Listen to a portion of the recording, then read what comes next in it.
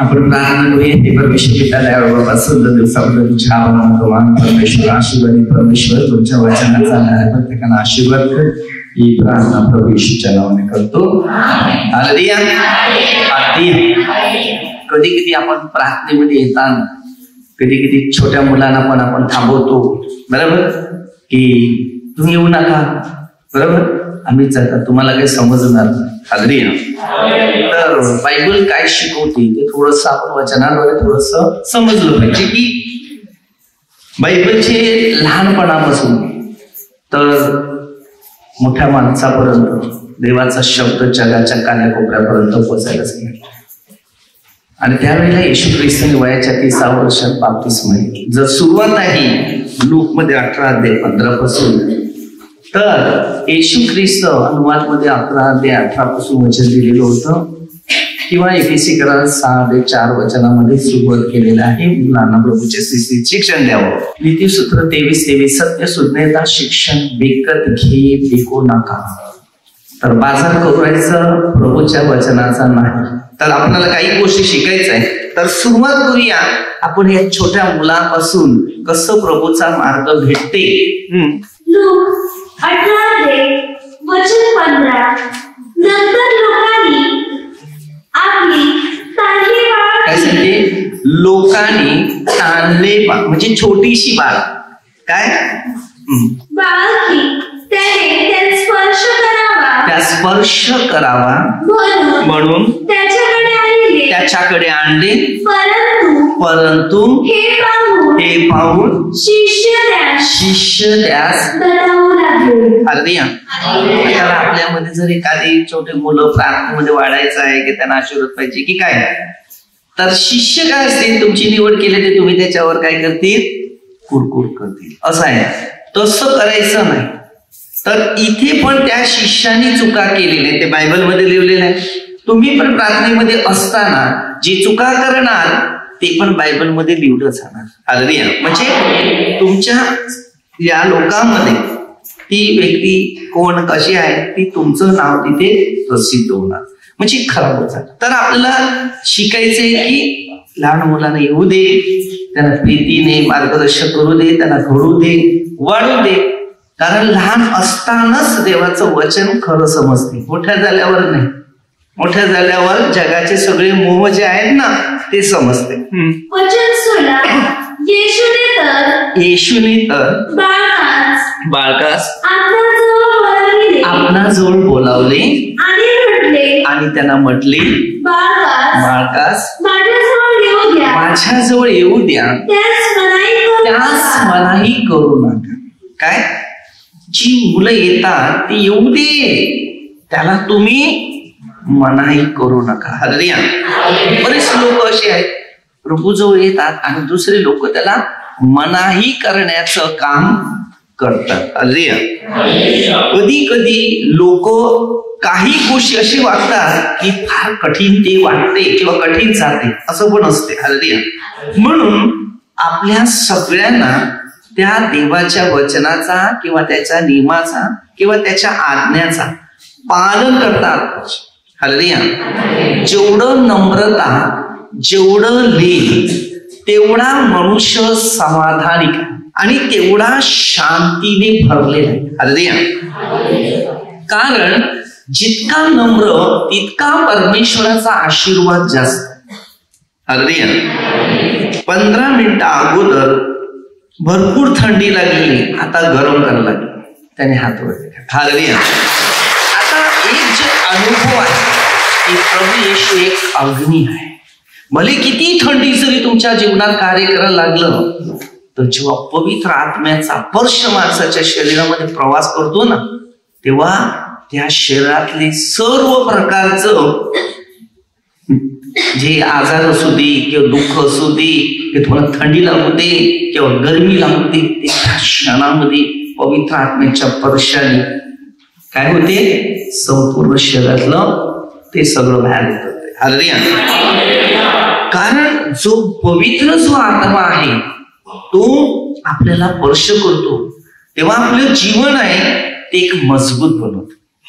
कारण येशूच्या शिष्यांना तो पवित्र आत्मा मिळाला नव्हता. फक्त येशू जवळच पवित्र आत्मा होता. आणि पवित्र आत्मा येशू बरोबर असल्यानंतर शिष्याला ते सांगतो की ते पापीने लहान मुलं पवित्र आहे त्यांच्यामध्ये पवित्रता क्षमा प्रेम दया शांती हे सर्व आहे. अगदी आपल्या लोकांमध्ये ना दया ना प्रीती ना माणसामध्ये शांती. देवाचे राज्य देवाचे राज्य त्यांच्यासारखेच त्यांच्या सारख्याचे देवाचं राज्य कोणाचं आहे? ती छोट्याशा मुलांचं बाळांचं. हल्ली कारण ते नम्र असतात. लीन असतात. त्याला किती मार? काय करतात? हा? ते असते तुम्ही मारले तर रडते अगदी प्रेमाने त्यांना मारणं कधीच जोरात नाही म्हणायचं. हल्ली मुलावर हात उचलायचा. हल्ली कारण मुलांच्या प्रेमाने मोठ्या माणसाला समजसपणा मिळतो. हल्ली छोट बाळ हसलं असते तेव्हा कोणालाही आवडते. नाही आवडत? रडायला लागलं तरी आवडते. काय झालं बाबू? चॉकलेट देऊ? खाऊ देऊ? हल्ली शैतान माणसाच्या पाठीमागे लागतो लक्षात ठेवा. आणि शैतान जेव्हा पाठीशी लागतो तेव्हा मनुष्य माणसाच्या पाठीशी लागतो. हल्ली शिकताना आणि शिक्षण घेताना पहिलं प्रथम आहे वचनावर शिक्षणावर आणि त्याच्या नियमावर.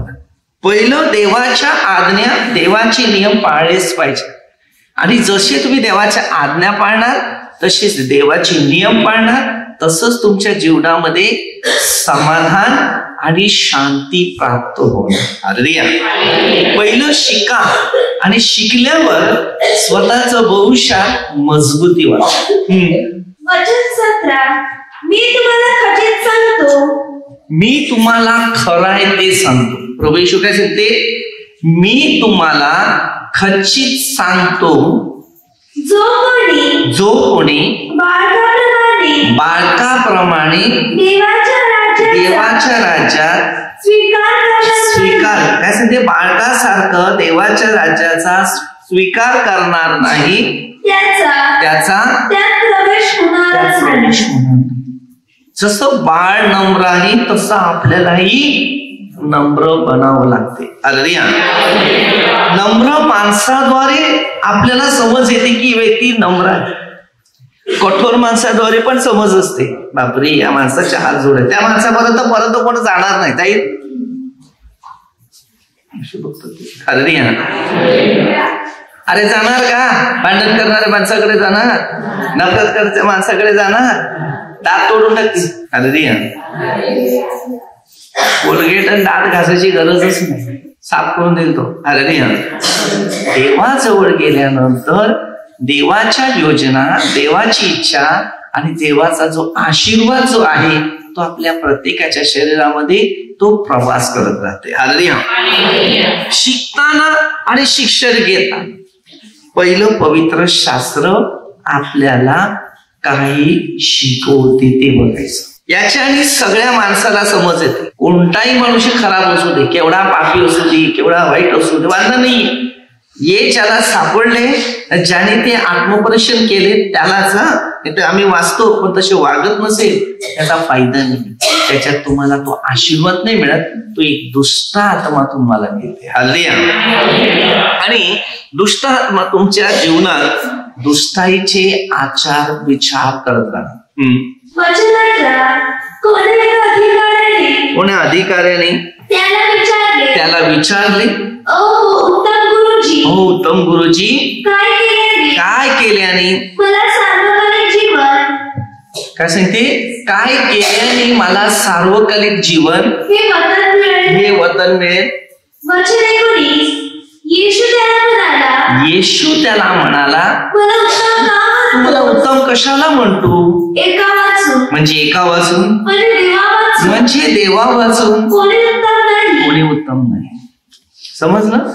जगात कोणत्याच माणसाला श्रेष्ठ समजायचं नाही. एक श्रेष्ठ आहे तो म्हणजे प्रभू. जगात अनेक लोक श्रेष्ठ समजतात. त्याला श्रेष्ठ आहे तो श्रेष्ठ आहे तो श्रेष्ठ आहे. कोणता श्रेष्ठ नाही? श्रेष्ठ आहे तो एकच आहे तो स्वर्गात आहे. अगदी.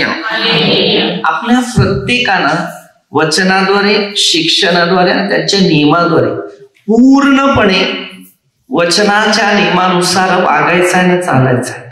तेव्हा परमेश्वर तुम्हाला पुढे नेईल त्याचे मार्ग देईल त्याचं शिक्षण देईल आणि त्याचा आशीर्वाद तुला आज्ञा ठाऊक आहे. तुला आज्ञा माहिती आहे? व्यभिचार करू नको. व्यभिचार करू नको. खून करू नको. खून करू नकोस. चोरी करू नको. चोरी करू नकोस. खोटी साक्ष देऊ नको. खोटी साक्ष देऊ नका. आपल्या बापाचा. आपल्या बापाचा. व आपल्या आईचा. व आपल्या आईचा. सन्मान कर. सन्मान कर. हालेलुया. आता बरेच लोक हे सगळं करतात. परंतु कुठेतरी एक कमी आहेच माणसाकडे बरोबर? एक एक माणूस म्हणतो मी हे पाप करते ते पाप करते ते नाही करत. अरे सगळे पापी आहेत आम्ही पापी आहेत तुम्ही काय राहणार का पवित्र? अर्धिया माणसाचे आचार विचार असले तरी पण बायबल कशा मुद्द्यावर लिहिलेला माहितीये का? कोणताच मनुष्य रोग करत देणार नाही नीतिमान नाहीच. पटकन मनातलं एखाद्या माणसामध्ये सुशिवृत्ती निर्माण होईल. एखाद्या माझ्याविषयी काहीतरी बोलेल. एखाद्या डोळ्यासमोर काहीतरी चुकीचंच दिसेल.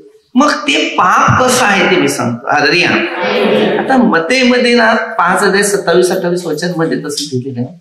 एखाद्या व्यक्ती जर तुमच्यामध्ये दुष्ट विचार आले वाईट विचार भावना आल्या तरी तुम्ही पाप केले असं वचनाद्वारे शिकवते आदरिया बायबलचे मुद्दे जे आहे हे सगळ्यांना ऍडजस्टमेंट करते. तिकडे वस्तू आहे मला चोर घेतलं असतं तर बरं झालं असतं. चोरी आहेच.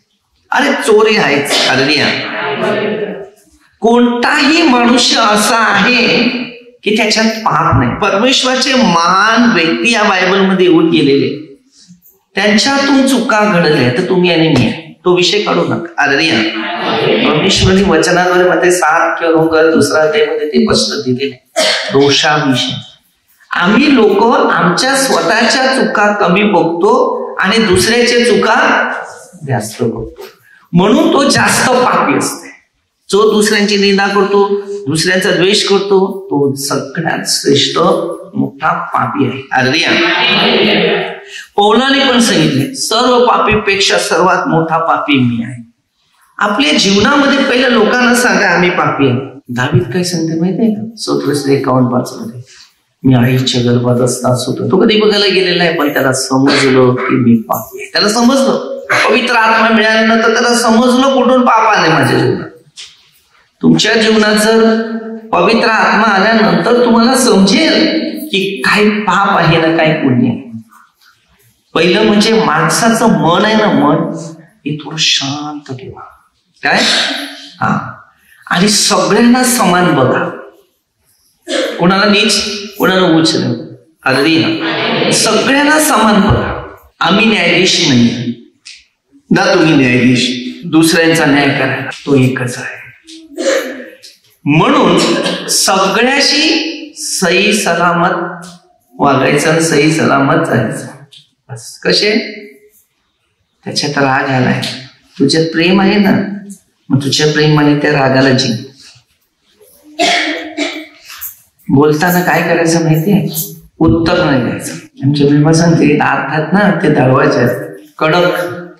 त्याच्या पुढे जीवीची हिंमत चालत नाही. जेव्हा ते उघडतील तेव्हा दरवाज्यात प्रवास करेल. बरोबर जीबीला पुढे जाऊन देत नाही लॉक करून ठेवतो तो. राग आल्यावर ते दार दरवाजे केवढे बापरे. फोपातात त्या दरवाजे.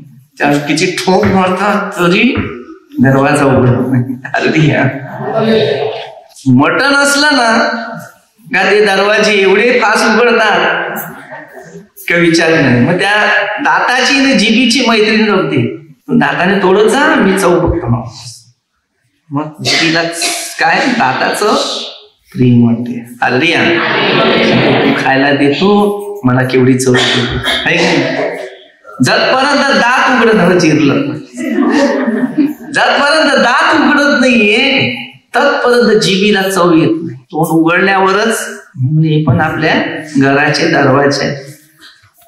हालेलुया. परंतु हृदयाचे दरवाजे कोणी उघडत नाही. नम्रता लीन बरोबर? समजस्पणा. सगळ्याशी चांगलं. कोणी भेटलं ना अशी तोंड नका करा. कशी करा? थोडस स्माईल करा चुप करा. बस. ना पुढे जा.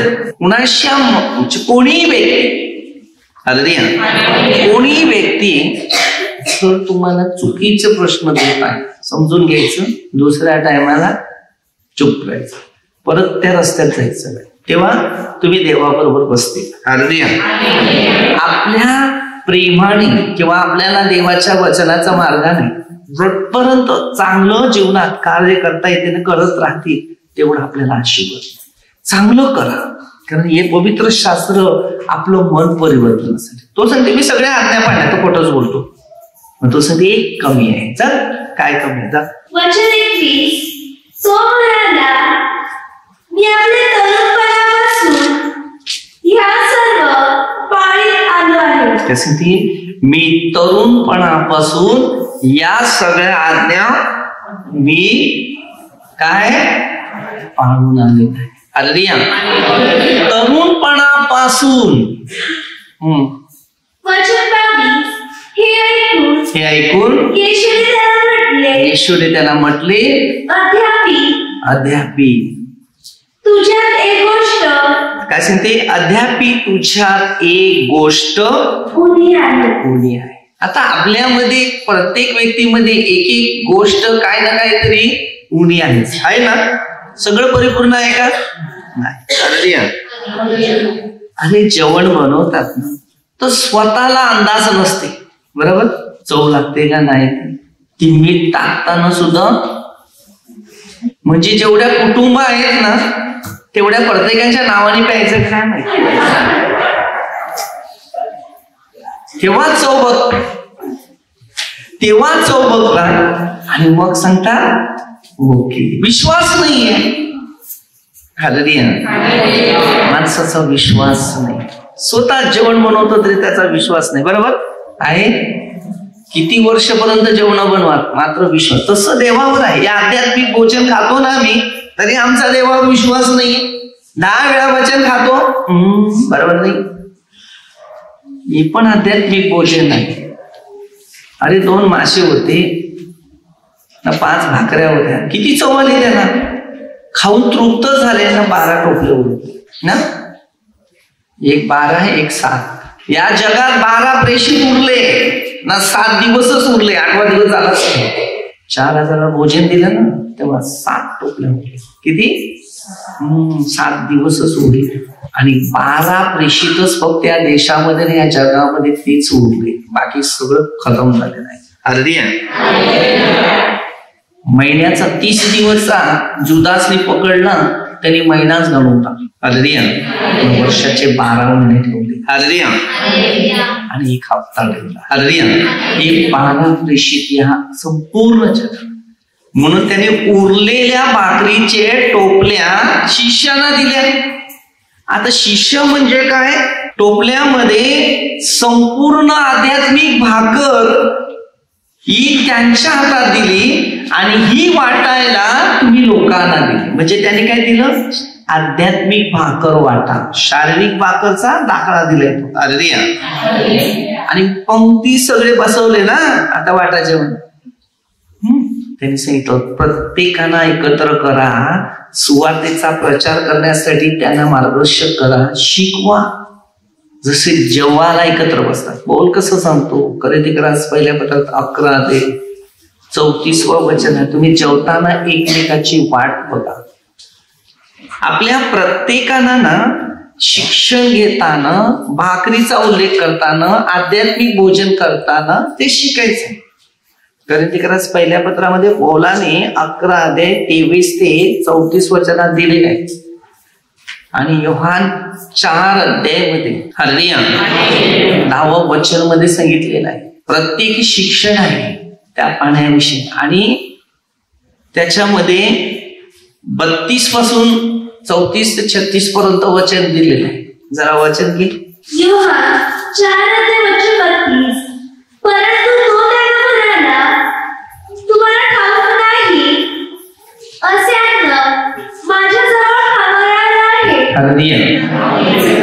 आता येशूचे शिष्य भाकर घ्यायला गेलेले होते. आणि येशूला सांगतात जेवायला या. तो सांगते असं अन्न माझ्याकडे आहे तुम्हाला माहिती नाही. आपल्या प्रत्येकाला या गोष्टीची जाणीव झाली पाहिजे. आध्यात्मिक भोजन नाही लोकांकडे. शारीरिक भोजन सगळ्यांकडे आहे. फक्त शरीराचे विचार करतात आत्म्याचे विचार करणारी व्यक्ती नाही. म्हणून आत्म्याची व्यक्ती विचार करणारे छोटस बाळच आहे तोच आत्म्याने क्षमा करणार आहे तोच प्रीती करणार आहे. किती आई बापाच्या खांद्यावर बसील कप्पी घेईल किच घेईल केवढं? तुम्ही भांडण झालं तर किच घेतील दात काढून महत्त्व समजून घ्या की पवित्र शास्त्राच्या शिक्षणाची ओळखपत्र पहिला तयार करा. ज्ञान थोडं शोधून का म्हणून येशूने दाखल्याने सगळ्यांना मुद्दे दिले पण ते दाखले कोणाला मिळतात? जे वचनात आहे शिक्षणात आहे नियमात आहे आज्ञात आहे त्याच्या मार्गावर चालणारी व्यक्ती त्यांनाच फक्त ते दाखले समजतात. हे सगळ्यांना नाही प्रभूची नियम जेवढं प्रभूमध्ये राहील ना तेवढा आज्ञामध्ये राहावं लागतात. कठीण. हे जगाचे सगळे गोष्टी बाजूला ठेवावं लागतात. या जागतिक गोष्टीकडे तुमचं मन लागलेलं असेल ना तर मानसिक तणाव येईल. देवाच्या वचनानुसार शिक्षणानुसार नियमानुसार प्रत्येकी व्यक्तीचं महत्त्व जीवन जे आहे ना ते पहिलं समजून घेतलं पाहिजे. आम्हाला म्हणून मी बोलला ना तुम्ही प्रत्येक माणूस कार्य करता कोणी असं तुमच्या हातात बायबल आहे तर तुम्ही खरोखर ख्रिस्ताची सुवर्धक आहे आणि तुम्ही शिष्य बनवू शकता. मग तुमच्याबरोबर बायबल नाही किंवा बायबलच्या मार्गानुसार नाही आहे तुम्ही शिष्य नाही. भले तुम्ही काम करणारे कार्य करणारे असेल ती सेवा तात्पुरतीच होते. पण जे पवित्र आत्म्यापासूनची काम होणार आणि कार्य होणार जी सेवा होणार तर पवित्र आत्मा तुम्हाला सहाय्य करणार. मग तो आत्मा मिळाल्यानंतर तुमचं जीवन जे आहे ना ते परिपूर्ण होणार. अरे येशू होता. येशू बरोबर शिष्य पण होते. आणि शिष्यांबरोबर शिष्य होते. लोक होते. आता मी आहे. आता माझ्या बरोबर तुम्ही काही खास शिष्य असले तर माझ्या खास कोण मिळतच नाही. अरे तेव्हा सोळा बत्तीस मी आणि पिता आहे कारण सगळं काय करायचं जेवढं धावता येते तेवढं करता येते तेवढं पळता येते तेवढं चालवता येते तेवढं चालायचं बघा मी संधी लोकांना देतो. तुला भविष्यात वाढायचं आहे तर पुढे कर माझं एक शिकवण आहे. देवाची नियम पाळील तर तुमचे मार्ग तुमच्या हातात परमेश्वरच्या राज्याद्वारे भेटेल. नाही तर तुमच्या हातात काहीच भेटणार मी प्रार्थना करेन की कार्य करेन की तुम्ही हे करेल पण ते जमेच नाही जमेच यायचं असेल तर नियमात आज्ञा आणि वचनात आणि शिक्षणात त्याला नम्र बनावं लागते. आणि जितका मनुष्य नम्र बनतो ना तितका मनुष्य सामर्थ्यिक अभिषिकतात आणि शांतीत राहतो. वचन तेहतीस यावर शिष्य एकमेकांस म्हणू लागले. याला कोणी काय बोला याला कोणीतरी खायला आणलं असेल का? डबा घेऊन आले म्हणाला अरे येशू त्यांना म्हणाला ज्याने मला पाठविले त्याच्या इच्छेप्रमाणे करावे. करावे. व त्याचे कार्य त्याचे कार्य सिद्धीस न्यावे. हेच माझं अन्न आहे. काय? ते कार्य सिद्धीस न्यावं असं ते काय? अन्न आहे. हररिया आता देवाने तुम्हाला जबाबदारी दिली तर तुम्ही काय केलं पाहिजे? ते काम केलं पाहिजे का नाही केलं पाहिजे? कार्य करायलाच पाहिजे की नाही? हररिया कोणत्याही व्यक्तीला जेव्हा प्रभू येशू निवड करते तेव्हा आपल्या शरीर गरजेसाठी नाही. मी एक शिकवतो लोकांना. देवाची हात आल्यानंतर त्याला बाहेर व्हायचं पहिला हळूहळू माणसाला मग बाहेर गेला ना का थोडे थोडे आजार येतात. आजार येतात त्यानंतर तो सांभाळून बघतो त्याला प्रयत्न करतो. मग तो प्रार्थना येतो त्याला आरोग्य देतो समजून देते मार्गदर्शन करते. मग तो माणूस विचार करतो बरा झाला आता मला परत कामाला लागू दे कामधंदा करू दे. तो कामधंद्यामध्ये पडतो त्याला सांगतो अरे तुला मी वाचवलं कशासाठी? की तू आता माझं काम करायचं? अगदी आता देवाने मला वाचवलं कशाला? माझ्या स्वतःच्या मजा करण्यासाठी मोज मजासाठी किती वर्ष देव आपल्या पापांचा भारा तो घेत जाणार? म्हणून हळूहळू देवाची एक एक एक काम करायला सुरुवात करायचं. मग नवी जीवन मिळते. किंवा तीन तीन मध्ये दिले तसं आहे. हे आपल्याला नवीन जीवन देवाने दिल्यानंतर ते काही बरं झाले आपण. म्हणून काय जागतिक गोष्टीमध्ये उतरायचं नुसत्या शरीरावर परत विचार करायचा नाही. तेव्हा मत्तेमध्ये आपण बघा हरिया दहा अध्याय अठ्ठावीसमध्ये वचन दिलेलं आहे. मत्ते दहा ते वचन अठ्ठावीस. जे शरीर जे शरीराचा घात करतात पण आत्म्याचा घात जे आत्म्याचा घात कराव्यास जे समर्थ नाही त्याला. घेऊ नका. तर आत्मा आणि शरीर या दोघांचा. नरकात नाश करावयास. नरकात नाश कराव्यास. जो समर्थ कसे ते नरकात नाश कराव्यास जो समर्थ आहे. त्याला आपले शरीर काय आहे? आत्मा काय आहे? पवित्र आत्मा काय बाळ ते छोट कसं आहे? प्रेम आहे नम्र आहे दीन आहे. हल्लिया आता जेव्हा जेव्हा मी कुठे दान धर्म करते छोटी मुलं ते कशी हात करतात? हल्लिया किती प्रेमाने त्या गोष्टीची ओळख येते. जेवण वाटायला लागलं ते डबे पण नाही खोलत. असे करतात. खोलून द्यायचं. खुश. हल्लिया किती प्रीतीच्या गोष्टी असतात. आता ते काय करतात ते सुद्धा डबे त्यांना भरून द्यायचं असेल ते व्यवस्थित पॅक करून पिशवीमध्ये देतात. त्या मुलांना केवढं प्रेमाचा अनुभव येत असेल. अरे कारण आपल्या इकडे ओरडतील आपल्या मुलाला बरोबर ना? आपल्या मुलाला ओरडणार नाही. देतील दोन लावून. अरे प्रेम येशू जवळच आहे आणि प्रभू येशूच्या द्वारे प्रेमाचा स्वभाव समजते. रागिष्ट माणूस आहे त्याच्याकडे जा. तो रागिष्टच बनेल. हल्लिया माणूस प्रत्येक गोष्टीमध्ये बघा एकदा दोनदा तीनदा. एखादी व्यक्ती बदलत नसेल त्याला प्रयत्न करायचा. चौथूनदा परत त्या रस्त्यात जायचं नाही. आणि ती व्यक्ती तुम्ही व्यक्ती कोणतरी आहे हा पण विचार करायचा नाही. तो डोक्यातला काढायचं डिलीट करून टाका. नंतर एखाद्या व्यक्तीला तुम्ही खळवतात किंवा मार्गदर्शक करतात त्याच्या जीवनात कुठेतरी अनुभव किंवा एक सामर्थ्यिक आत्मा कुठेतरी भेटते ते त्यांना द्या. हल्लिया देवाने शिकवलेले जे नियम आहेत ते आपल्याला शिकायचं आता कधी कधी मी हर एक व्यक्तीवर मी बघा कुठल्याही गोष्टीमध्ये सांगतो मी जाती धर्म कधी बघत नाही. मला त्याचा खूप तिरस्कार आहे. माणूस एकच आहे अवघे येशू प्रभूच्या द्वारे सगळे परमेश्वर पित्याद्वारे आपण सगळे झालेले आहेत. तर कोणत्याही माणसामध्ये एखाद्या वस्तूसाठी मूर्तीसाठी कसल्यासाठी वस्तूसाठी भांडण नफरत नाही करायचं. तुम्हाला डोळे दिल्या ते देव दिसते ज्याला डोळे नाही त्याला विचारा देव कुठे आहे? मी तुम्हाला गॅरंटी देते. तर आमचे डोळे धन्य आहे की आम्हाला आत्मादेवाने दिलेला आहे. तर सगळ्यावर प्रीती करायला.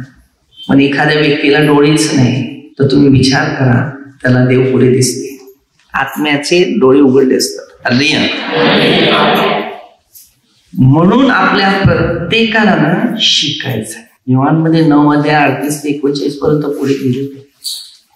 ज्याला दिसते त्याने आंधळे व्हावे. आम्ही दिसतात आम्हाला आंधळ करायचं आहे जो देव नाही त्याला देव म्हणायचं नाही. आम्हाला सगळ्याशी एक राहायचं आहे सगळ्याशी नीतीत राहायचं आहे कारण मानव एकच आहे. देव देवाच्या जागेवर बसतील ना आम्ही आमच्या जागेवर बसतील. कोण आम्हाला सोडायला येणार नाही. आमची कर्मच आम्हाला सोडू शकते. पापापासून एकच व्यक्ती होता. तो प्रभू येशू बलिदान झाला. पापी लोकांसाठी आला. स्वतःने पाप घेतली. आणि आम्हाला पवित्र बनवून त्याचं राज्य केलं म्हणून जगात भरपूर आले असे महान आले व्यक्ती. असं नाही मी सांगू शकत की सृष्टी निर्मातीपासून उत्पत्ती सहा पाच वचनापासून लिहिलेलंच आहे. देवपुत्र या पृथ्वीत आले पण देव नाही आले. देवपुत्र झाले. तुम्ही पण देवपुत्र आहे. ज्याला देवाचं वचन प्राप्त झाले ना देवांना पस्तीस वाचा काय नाही. सगळे देवाचे सेवक आहेत पण सैता सगळ्यांना पकडतो. म्हणून मी लोकांना सांगतो तुम्हाला पकडले ना ते चालेल पण तुम्ही येशूला पकडा. हळूहळू सुटेल.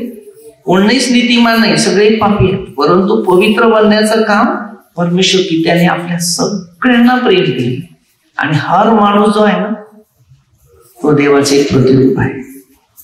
त्या सगळ्याशी प्रीतीत कोण दुःखी आहे कोण निराशेत आहे कोण गरजवंत आहे तो भुकेला आहे कसा आहे. येशूने येशूने माते पंचवीस अध्यायमध्ये बत्तीस ते शेहेचाळीस पर्यंत दिली आहे. एकतीसपासून वाचलं तर न्यायाचा पूर्ण दिलंय. आपल्या सगळ्या डिटेल आपल्याला घ्यायचं हे पवित्र शास्त्र वाटण्यासाठी. खाऊ वाटू शकतात पण आध्यात्मिक वचन नाही वाटू शकत. आध्यात्मिक वचन म्हणजे काय नाही? जे पापात पडल्यात त्यांना बाहेर काढा. रोम करत बारा बऱ्याने चिंका आम्ही या गोष्टी करत नाही. प्रत्येकाच्या गरजेला गरजवंताला मदत करतो सहाय्य करतो त्याला मार्ग देतो किंवा शिकवण देतो. हे सगळं महत्वाचं काम आहे. बाकी काही कामाचं नाही बाकी सगळं जे आहे शून्य. भुकेल्यास अन्न द्या. भुकेल्यास हे सगळ्यात मोठा तुमचा प्रेमाचा खरा संदेश आहे आणि खरा धर्म आहे. बालपणापासून ते म्हातारे माणसापर्यंत. गरज व्यक्ती आहे ते हरिया रोडवर येत असताना आता रोडचं काम करायला लावलं माहिती आहे तुम्हाला? की भरपूर मोठ्या प्रमाणामध्ये ट्रॉफिक आहे. मी डायरेक्ट सिग्नल लावलंय थांबवलंय. गाडी गाडीचं बिस्किट होतं ते दिलं एक म्हातारा काठी घेऊन चाललेलं. पाण्याची बाटली आणि एक बिस्किटचा पुडा दिला तो बिचारा असा करतो आता मी त्याला काहीच करू शकत नाही. खाऊ द्यायचं तेवढं दिलं आणि मी आलो इकडे. हल्ली तिकडे गेलो त्या गाडीवाल्याकडे मी गाडीचं थोडस काम होतं त्यांना सांगितलं असं.